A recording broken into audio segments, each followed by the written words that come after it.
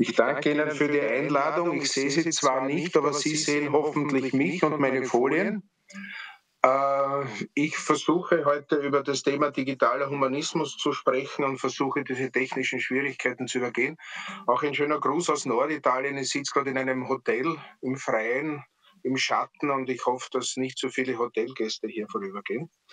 Ähm, ein Subtitel wäre hier IT will not stop, it will not stop, weil das Ganze eigentlich aus der Informatik und der Digitalisierung abgeleitet werden kann. Und daraus will ich dann erklären, was der digitale Humanismus ist, beziehungsweise äh, als Inhalt, beziehungsweise auch als Initiative.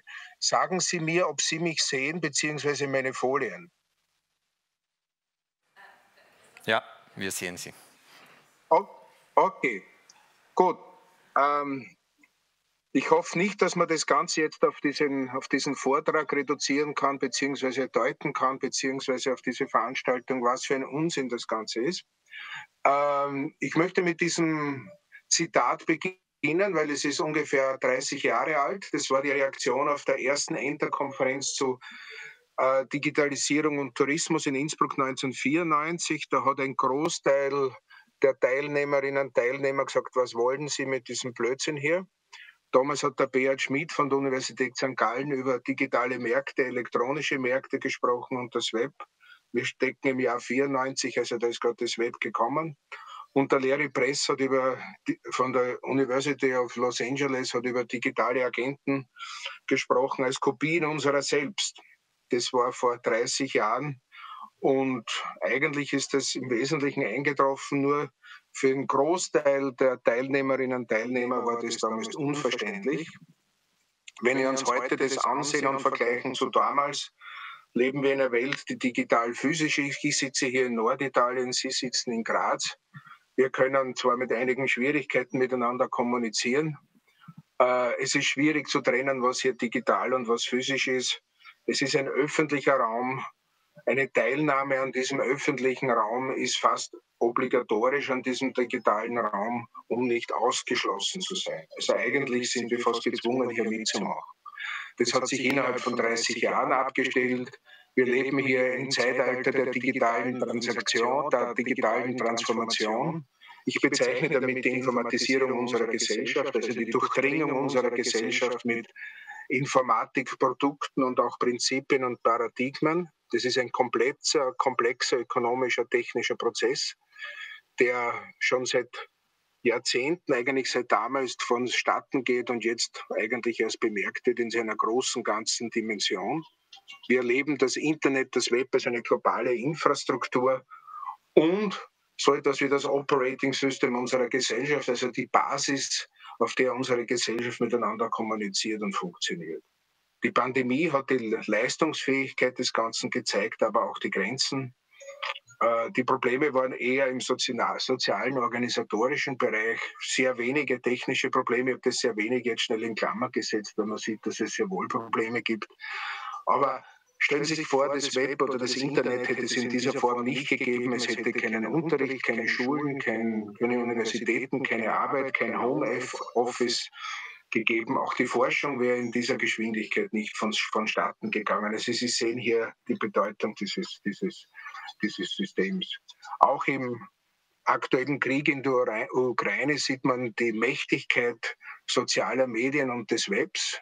Also die Bedeutung, die der Zelensky hier, der Präsident der Ukraine hat, ist nur erklärbar von seinem erfolgreichen Nutzen dieser sozialen Medienwerkzeuge, die er sehr gut nutzt und auch eigentlich den Westen damit in eine entsprechende Kommunikation und Interaktion führt. Äh, ich, der, der Punkt ist, dass ich hier äh, auf die Informatik zu sprechen kommen will, ganz kurz, die eigentlich der Hintergrund des Ganzen ist. Äh, die ersten Studien waren in den 70er Jahren, also ich habe 72, 73 zu studieren begonnen, damals war das noch ein Studienversuch. Und heute spricht der Lopreno, das ein Ägyptologe ist und der Vorsitzende des österreichischen Wissenschaftsrates, ein Ägyptologe, dass die Informatik so etwas ist wie das Latein von heute. Was ich nicht ganz teile, diese Meinung, aber es zeigt irgendwie die Bedeutung, dass die Informatik und hier beziehe ich mich auf die Methoden der Informatik, die Sichtweisen, also Paradigmen, wie wir die Welt sehen und wie wir sie begreifen und wie wir Probleme lösen wollen, als auch die Artefakte, das heißt, das sind unsere Softwareprodukte, Tools, die wir verwenden, grundlegender Art sind. Die Informatik ist beides eine Wissenschaftsdisziplin, also wo grundlegende Forschung, also auch eine Ingenieursdisziplin, wo etwas gebaut wird. Äh, beides ist es, kann man es zusammenfassen. Und eine äh, wirklich fast revolutionäre äh, Sicht ist, dass die informatischen Produkte keine physischen Grenzen zeigen. Also wenn ein Architekt etwas baut, ist an die physikalischen Gesetzmäßigkeiten äh, muss er sich an diese halten. In der Informatik haben wir eigentlich nur logische äh, Grenzen für unsere Ableitungen bzw. Programme. Die Informatik ist erfolgreich als solches, als Subject, also als solches, wenn wir die Informatikforschung ansehen. Und auf der anderen Seite auch die Informatics in Subject. Das heißt, es ist fast keine Wissenschaft heute mehr vorstellbar und denkbar ohne informatische Produkte als Tools. Denken Sie an äh, Webmining, Textmining in den, in, den, in den Sprachwissenschaften, in der Geschichte, Netzwerkanalysen in der Soziologie und so weiter. Die Informatik sehe ich nicht nur reduziert auf den Computer, sondern eine Wissenschaft, die sich mit Informations- und Informationsprozessen beschäftigt und damit verbundenen Phänomenen in Artefakten, also im Computer, Gesellschaft und in der Natur. Also das ist eine sehr weite Definition und erklärt auch, warum man dann äh, Entwicklungen in der Biologie oder auch in der Physik mit informatischen Methoden behandeln kann. Der Christen Niger ist übrigens ein Turing-Preis, äh, Preisträger äh, in den 70er Jahren, der die ersten Simulationsprogramme entwickelt hat.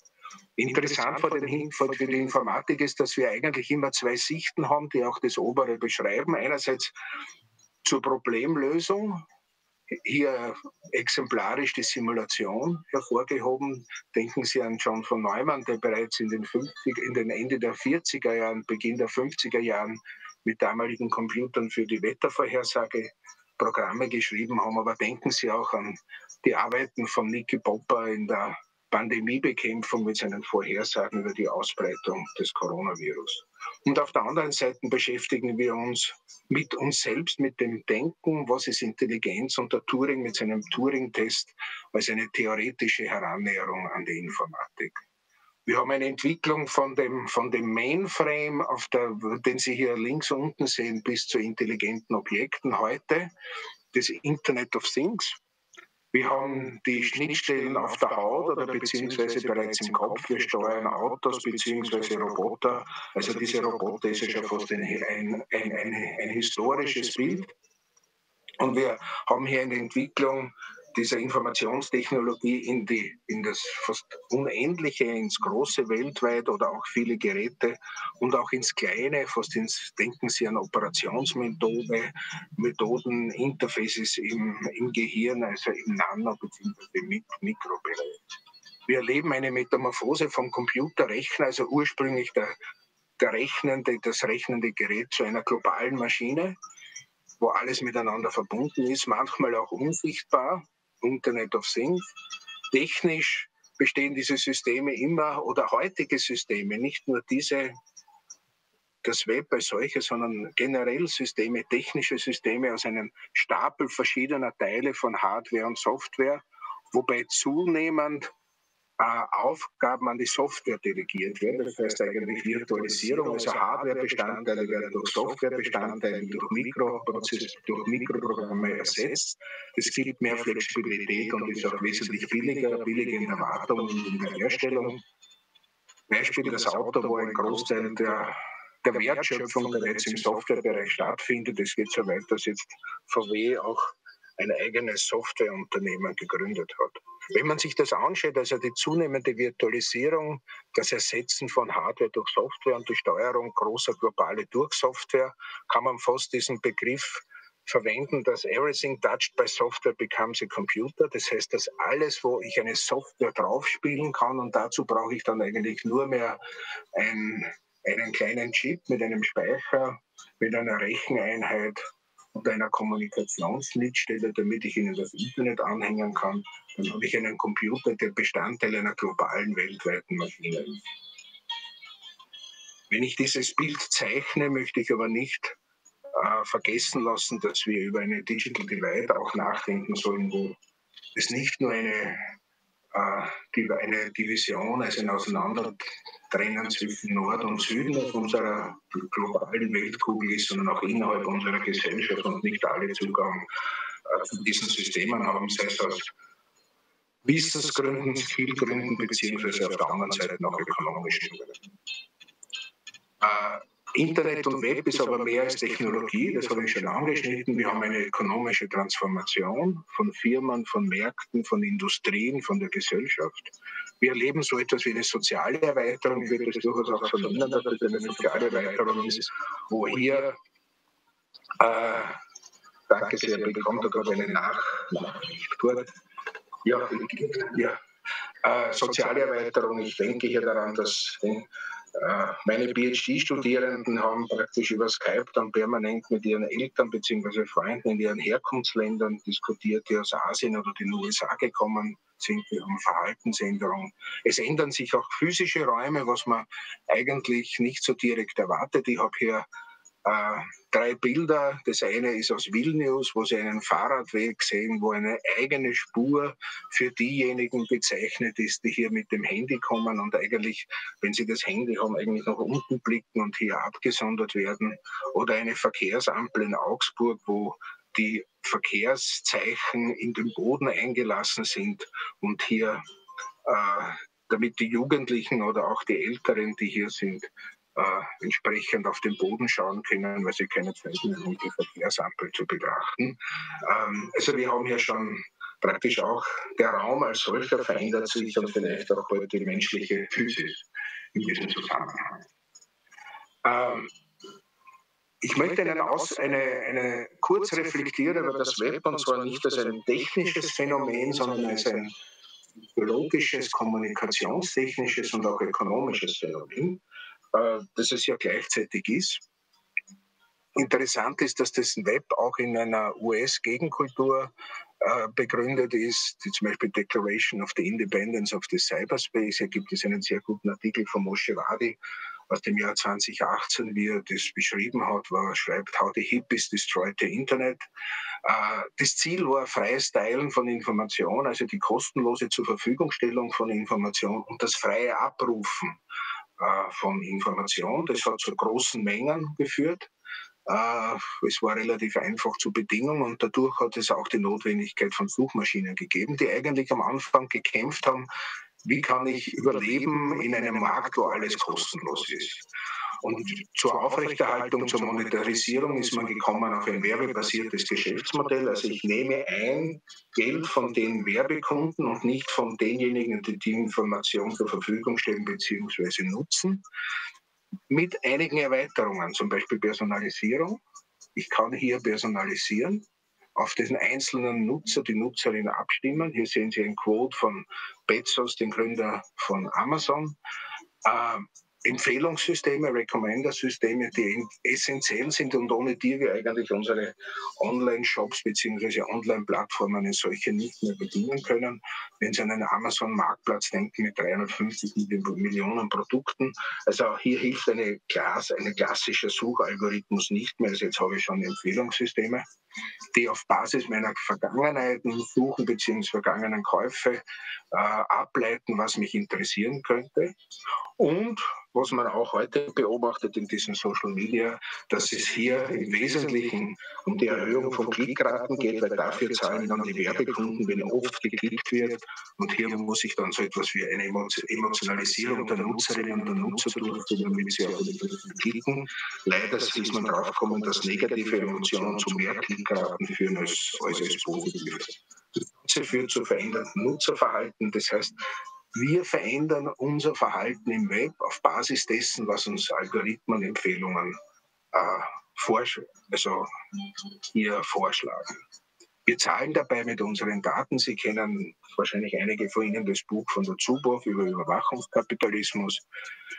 Wir haben hier eigentlich von der Ursprungsidee der Gegenkulturbewegung der USA, wo wir als Citizen, als Bürger uns beteiligen, ist eine Transformation zum Konsumenten, zur Konsumentin. Also wir werden gesehen als jemand, der potenziell mit Wert behaftet ist, mit den Daten, beziehungsweise aus dem ein Mehrwert geschaffen werden kann. Und es geht nicht so sehr um Partizipation. Und gleichzeitig sind wir Nutzer des Systems. Also wir schauen nach. Wir sind das Produkt.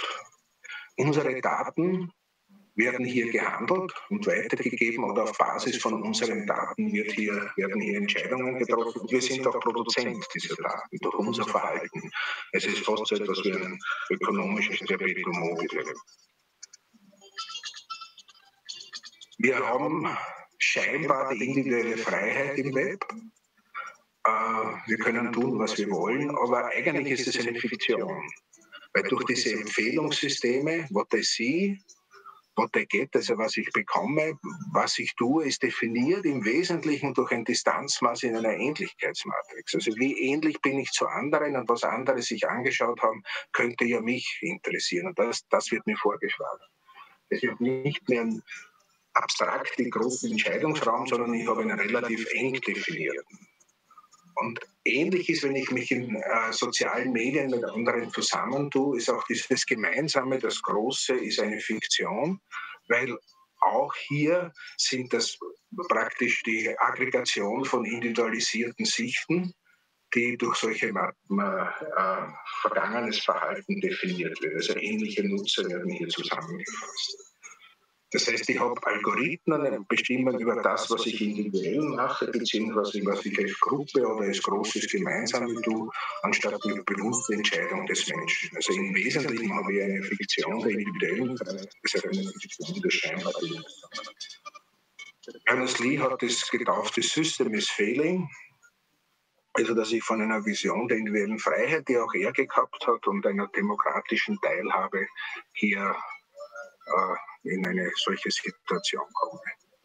Wir haben hier die, die, Geschäftslandschaft, die eigentlich entscheidend ist für das Web und nicht mehr die Wikipedias und so weiter, die auch wichtig sind. Aber wenn Sie auf diese, auf diese Systeme schauen, sehen Sie, dass das die Systeme sind, mit denen, mit denen wir in einem Großteil äh, der Zeit uns beschäftigen und verbringen und die uns hier entsprechende Services zur Verfügung stellen. Wobei die Teilnahme an diesen Services schon fast notwendig ist, damit man hier sich beteiligen kann. Das sind sogenannte Plattformfirmen. Basis ist das Nutzernetzwerk und nicht so sehr die physische Infrastruktur und die Information von und über die Nutzerinnen beziehungsweise auch über die Märkte. Also die setzen sich praktisch auch drauf und beobachten die Nutzer, Nutzerinnen und stellen ihnen entsprechende Service zur Verfügung. Es ist eine absolute Virtualisierung des Geschäftes und was auch interessant ist, dass diese Innovation, diese Firmen sind alles Newcomer, das sind Startups, die kommen von Osten. Die schlechte Nachricht ist, dass das fast alle bis auf Skype US-amerikanische Gründungen waren. Plattformen und Marktkapitalisierung ähm, das geht hier, was ist, wenn ich hier Firmen betrachte, was ist der Wert dieser Firmen, wenn ich sie an der Börse handle, hier als der Preis für eine Aktie, der einmal multipliziert mit der Anzahl der Aktien. Und hier sehe ich im März 2022, Ende März, es gibt ja neuere Zahlen, vierteljährlich Ende Juni, da schaut es ähnlich aus. Hier sehen Sie rot eingezeichnet die wertvollsten Firmen dieser, also hier in dieser Liste der zehn wertvollsten Firmen dieser Welt sind, die, dass hier fünf solcher Plattformenfirmen dabei sind und auch äh, drei andere äh, IT-basierte Firmen sind, so wie Tesla, das ist ja eigentlich zwar eine Mobilitätsfirma, aber ist ja eine, kann man als IT-Firma bezeichnen. Nvidia ist eine Grafikkarte und TSMC ist eine äh, Chip-Produzent aus Asien. Nur Berkshire Hathaway ist eine Investitionsfirma und United Health ist eine amerikanische Versicherungsfirma für, für Gesundheitsdienste. Wenn man sich anschaut, was in den letzten zehn Jahren passiert ist, auf der rechten Seite sehen Sie hier eine andere Zusammensetzung dieser Firma, eine Struktur, wo nur zwei Firmen vor zehn Jahren, vor elf Jahren aus dem IT-Bereich gekommen sind und die anderen aus anderen Bereichen, also relativ groß verteilt. Und auch hier sehen Sie eine bessere Verteilung im Weltmaßstab und hier eigentlich nur mehr hier mit diesen zwei Firmen. Europa ist rechts noch vorhanden, links äh, sind wir eher nicht mehr vorhanden. Das ist, ein, großes europäisches Problem. ähm, Plattformen. Äh, das ist praktisch dieser virtuelle Ort, Markt, wo sich die Anbieter und Nachfrager treffen in einem offenen System. Es ist ein Ökosystem, wo es mehrere Typen von Anbietern und auch Nachfragern von Nutzerinnen und Nutzern geben kann. Es ist ein Arrangement, das durch gemeinsame Regeln und Technologie definiert wird.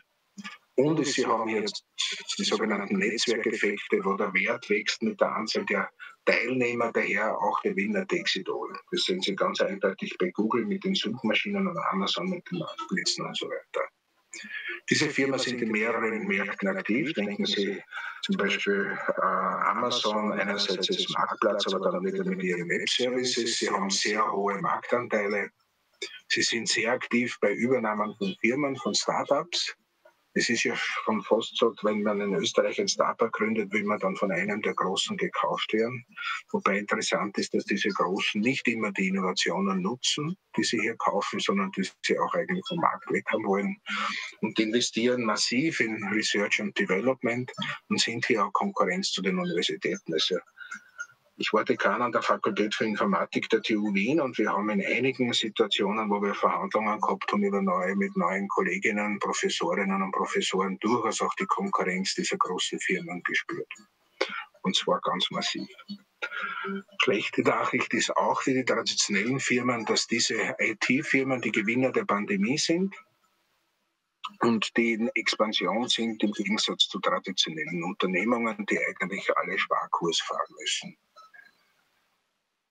Zusammengefasst kann ich hier sagen, dass wir zwei Seiten der informatischen Medaille haben. Wir haben hier einerseits die Informatik oder Informationstechnologie, die das System am Laufen hält.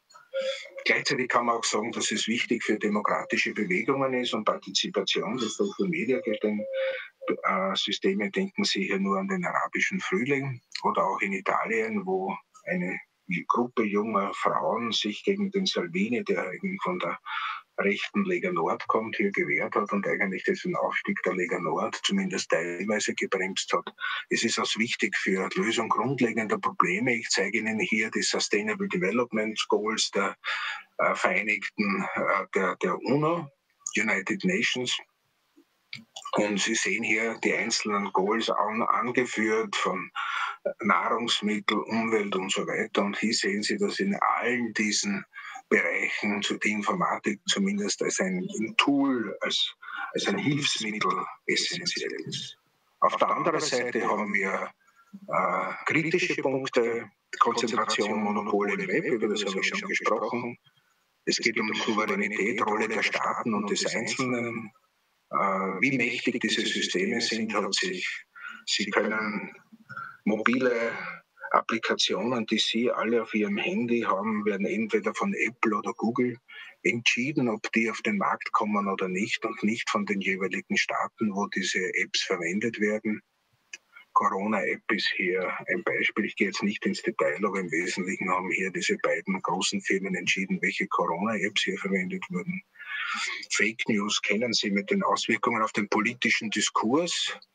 Äh, dadurch, Sie kennen die Geschichte auch, wo hier äh, die Trolls arbeiten und so weiter. Äh, KI und Entscheidungsfindung, also künstliche Intelligenz, Entscheidungsfindung. welche Rolle hat hier der Mensch? Es sind ja bekannt die Beispiele, wo bei der, im Recruitment von Amazon hier Algorithmen weiße tendenziell bevorzugt haben, weil praktisch aus falschen Daten oder Anführungszeichen äh, voreingenommenen Daten gelernt wurde. Also wie kann man hier das kontrollieren? Überwachung habe ich bereits angeführt. Ein letzter Punkt ist diese Arbeitssituation und Automatisierung. Eine Diskussion, die zurzeit nicht im Vordergrund ist, aber die sehr wohl kommen wird. Äh, nicht nur die Substitution menschlicher Arbeitskraft, sondern welche Rolle hat der Mensch im Arbeitsprozess, wer kontrolliert den Arbeitsprozess. Äh, eine interessante äh, Geschichte ist auch der französisch-italienische Soziologe Casilli hat sehr gut gezeigt, dass in dieser IT-Industrie wir widerspiegeln die kolonialen Abhängigkeitsverhältnisse, wo in den reichen Ländern des Nordens und des Westens mit den IT-Systemen Umsatz gemacht wird und Datenveredelung oder Datenpflege teilweise in den Ländern des Südens äh, gemacht wird. Hier wieder dieser, the system is failing in Team Berners-Lee. Das Ganze hat uns dazu geführt, dass wir einen Workshop, und hier komme ich zum digitalen Humanismus, also als eine Ableitung, warum das für uns ein wichtiges Konzept ist, äh, im Jahr 2019 an der TU Wien, äh, wo wir diskutiert haben, zwei Tage mit, mit Wissenschaftlerinnen und Wissenschaftlern aus der ganzen Welt und aus unterschiedlichen Disziplinen, von der Informatik bis zur Soziologie, Geschichte, Anthropologie und so weiter und dort auch dann das Wiener Manifest für digitalen Humanismus äh, verabschiedet haben. Wichtig war hier damals auch das sogenannte Advisory Board Beratungsgremium für die Fakultät der Informatik der TU Wien, das ich damals als Dekan eingerichtet habe und die hier den, äh, einen wichtigen Ansatz oder Anstoß dazu gegeben haben. Äh, das Ganze hier muss ich auch erwähnen, war auch unterstützt vom Wiener Wissenschafts- und Technologiefonds, der hier eine wichtige Rolle gespielt hat. Was ist der digitale äh, Humanismus? Das ist eine einfache Definition und nicht nur, dass man die Auswüchse äh, der Informatisierung bekämpfen soll, sondern er soll sehr wohl, dass es Gesamtzusammenspiel zwischen Technologie und zwar Informationstechnologie und den Menschen beschreiben und analysieren, also versuchen zu verstehen und dann aber auch versucht, hier einzugreifen, da Einfluss zu nehmen, äh, dass die Tools entsprechend gestaltet werden, dass diese Dinge gemacht werden, die für die Menschenrechte wichtig sind, für eine gerechtere und sozialere Gesellschaft. Äh, das ist eigentlich eine relativ schwierige Aufgabe, weil diese Transformation oder diese Informatisierung ein komplexer sozialer, ökonomischer und auch technischer Prozess ist, mit einer eigenen Dynamik, äh, wo man glaubt, diese Dynamik ist so stark, dass man nicht eingreifen kann, dass das automatisch ist, aber im Wesentlichen ist es nicht automatisch und das kann man auch zeigen. Und es ist nicht Gott gegeben, diese Entwicklung und daher ist es wichtig, dass man sich hier eigentlich einmischt. Ähm, und hier sagt, dass man Technologie nach unseren Werten und Bedürfnissen designt, äh, dass wir sie gestalten. Wir sind die Agenten und die Autoren unseres Lebens. Wir haben die persönliche Autonomie und Entscheidungsfreiheit und auch die Verpflichtung und die Verantwortung, hier äh, unseren Verstand zu benutzen. Also in dieser Hinsicht ist es auch eine Referenz zur Aufklärung und vor diesem Hintergrund ist es auch die Voraussetzung für eine demokratische Gesellschaft, wenn man sagt, wir sind die Autoren und wir haben die persönliche Autonomie. Wer ist dieses Wir? Wer ist dieses Subjekt? Und das ist die Gesellschaft als solches oder die Menge von uns Menschen, die sich in einer demokratischen Gesellschaft, in einer demokratischen Organisation wiederfinden. Und in einer bestimmten Hinsicht ist der digitale Humanismus für mich auch eine rationale demokratische Antwort auf das Anything-Goes-Paradigma des Webs. Also, dass man nicht aufsitzt auf dieser fast Fiktion der individuellen Freiheit, sondern auch versteht, dass hier bestimmte Gesetzmäßigkeiten äh, existieren, die man sehr wohl äh, unterbrechen kann. Wir haben dann ähm, verabschiedet das Manifest in mehreren Bereichen hier wird sehr deutlich, dass es nicht nur ein, ein Aufruf ist, zu analysieren und zu reflektieren, sondern auch einer zum Handeln. Das ist auch so etwas wie ein Forschungs- und Aktivitätsprogramm. Äh, ich möchte hier nur auf einen Punkt eingehen, der für mich wichtig ist in der Wissenschaft, wo es wichtig ist, an den Universitäten, aber auch an anderen Institutionen hier diese äh, disziplinären Silos aufzubrechen und dass man hier kooperieren sollte. Zum Beispiel, warum hat man keine, Info, keine Philosophiefakultät an den technischen Universitäten? Ich glaube, dass es hier wichtig ist, auch die Geistes- und Sozialwissenschaft in der technischen Entwicklung entsprechend zu integrieren. Danach, also wir reden 2019 war der Workshop, dann ist 2020 ist die Corona-Pandemie ausgebrochen. Wir haben äh, dann Online-Lectures veranstaltet und Online-Workshops, äh, über 30 Online-Lectures mit relativ bekannten Personen, berühmten Personen. Hier ist uns entgegengekommen, dass es sehr einfach war, weil man sich eigentlich nur über Zoom bzw. andere Tools zusammenschließen musste. Wir haben hier 70 Stunden online zugängliche Videos und Präsentationen. Äh, Sie können über unsere Webseite alle diese Informationen und die Videos äh, zugreifen. Wir haben, der letzte Workshop war im März über eine Roadmap im digitalen Humanismus, der wichtig ist für Forschungsorganisationen und wichtige Themen. Ähm, Vorträge nur, nur damit Sie ein Beispiel haben zur Effizienz und Resilienz. Das ist, glaube ich, ein wichtiger Punkt, über den ich heute nicht sprechen kann. Wir brauchen resiliente und nicht effiziente Systeme. Es hat die Pandemie gezeigt, dass wir Systeme brauchen mit Buffer, äh, mit Alternativen. Äh, und das ist, kann man hier teilweise auch aus der Informatik lernen. Das Manifest hat Unterschriften aus 45 Ländern bekommen. Äh, wir haben es jetzt in acht Sprachen, sogar in Farsi und Katalan neben Spanisch. Es ist im österreichischen und Wiener Regierungsprogramm. Äh, es gibt die Boelsdorfer Erklärung zum digitalen Humanismus, der von den Außenministern Österreichs, der Slowakei und der Griechischen Republik unterzeichnet wurde. Es gibt Aktivitäten mehrerer österreichischer Ministerien. Also jetzt der neue Staatssekretär für Digitalisierung wird dafür eingesetzt.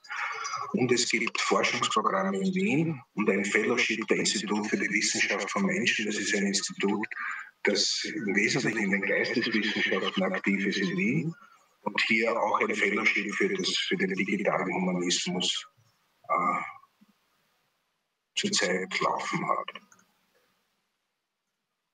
Äh, es ist uns gelungen, also es ist eine, eine Initiative, hier einen intellektuellen Kern zu, zu generieren, wo so bis zu 50 Personen wirklich regelmäßig bei Sitzungen dabei sind, Online-Sitzungen. Wir haben ein Buch verfasst mit 170.000 Downloads, wo wir 48 Beiträge von 60 Kolleginnen und Kollegen haben und wir haben diese Roadmap für Forschung und Innovation äh, geschrieben und es gibt äh, Entwicklungen und bereits ein Projekt für die Etablierung eines europäischen Masters im Bereich des digitalen Humanismus. Ähm, Dinge ändern sich. Es gibt mehrere ähm, internationale akademische, aber auch zivilgesellschaftliche Initiativen in dem Bereich Informatik und Gesellschaft oder AI und Gesellschaft. Die lässt die jetzt nicht vor, mit, aber das geht von den USA bis nach Europa. Äh, es gibt auf politischer Ebene Bewegungen. Äh, Sie kennen alle diese Digital Market and Service Act der EU. Es gibt die AI-Regulierung als Vorschlag und die Privacy-Gesetze. Äh, es wird wahrscheinlich ein Programm zu Horizon 2020 für digitalen Humanismus geben auf europäischer Ebene. Also nicht, dass wir diese Dinge aufgelöst haben, aber wir sind Bestandteil einer größeren Diskussion die feststellt, dass wir eine Modernisierung dieser Gesellschaft haben auf Basis von Informationstechnologie, aber auch gleichzeitig die Verantwortung, uns hier einzumischen. Dafür komme ich bereits zum Ende. Hier gibt es nur einen Hinweis auf eine unsere Summer School, die im September stattfindet. Also insofern ist es eine Fall School. Äh, Sie können nachschauen auf dieser Webseite ähm, oder einfach im Web suchen.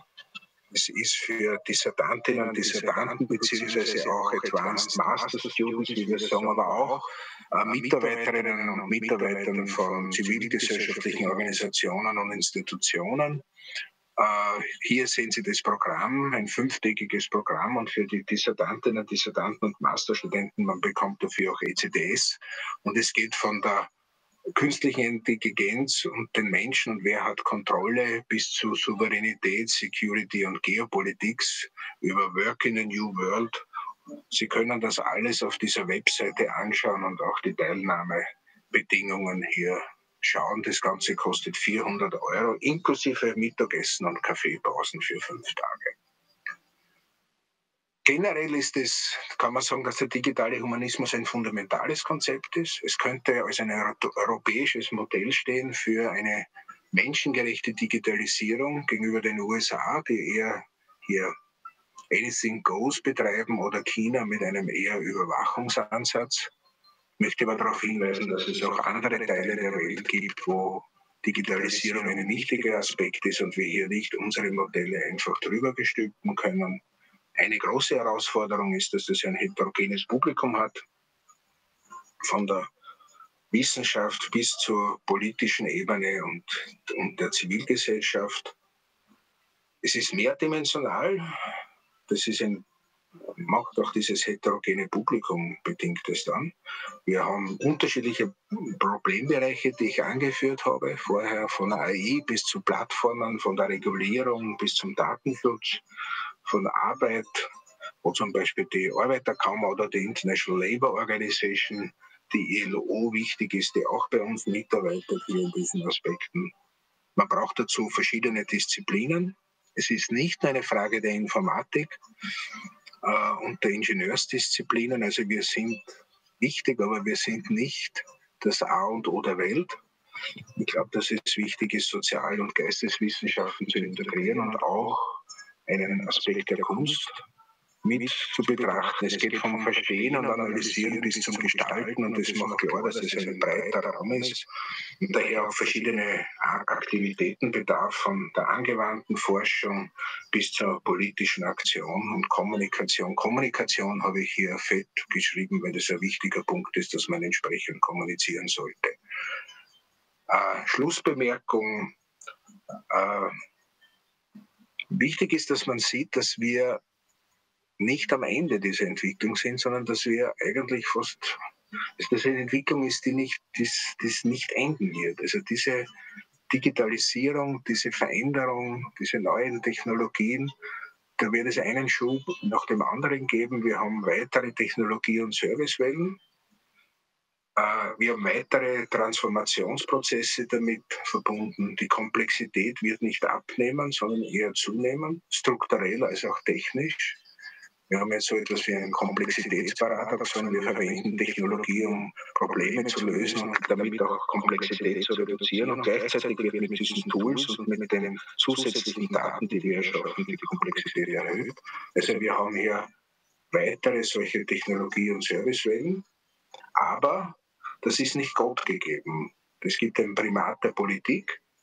Das sieht man zurzeit sehr gut in dieser Ukraine im Ukraine-Krieg, wo sehr wohl politische Entscheidungen über wirtschaftliche Entscheidungen stehen und wo politisch eingegriffen wird in Entwicklungen auf dem Markt und auch in, in der Technik. Letztendlich für uns selber gilt, dass man eingreifen kann. Das ist ein Aspekt des digitalen Humanismus, dass wir uns verstehen als Agenten, als rationale Agenten unseres Lebens aber gleichzeitig auch damit verbunden ist, diese Verantwortung, wenn man das versteht, dass man auch entsprechend agieren soll. Und damit danke ich Ihnen für Ihre Aufmerksamkeit, hoffe, dass Sie mich gehört haben und habe hier noch einmal äh, die Webadresse der Summer School. Ich danke Ihnen sehr.